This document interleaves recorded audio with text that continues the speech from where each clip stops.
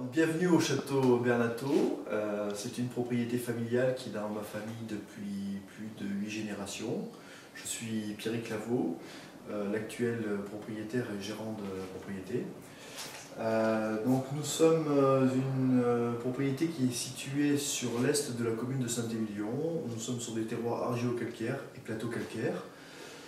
L'encépagement est à 70% en merlot et 30% à peu près en cabernet franc avec une petite touche de petit verre d'eau sur une zone euh, sablo-calcaire.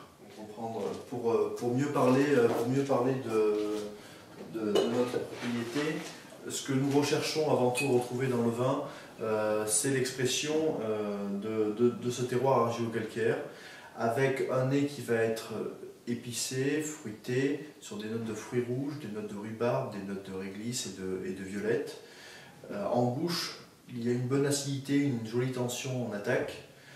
Derrière, le vin montre sa puissance, montre son élégance, devient en remplit le palais pour finir sur une note de salinité, de minéralité qui amène ce petit grain de tanin spécifique de Saint-Émilion.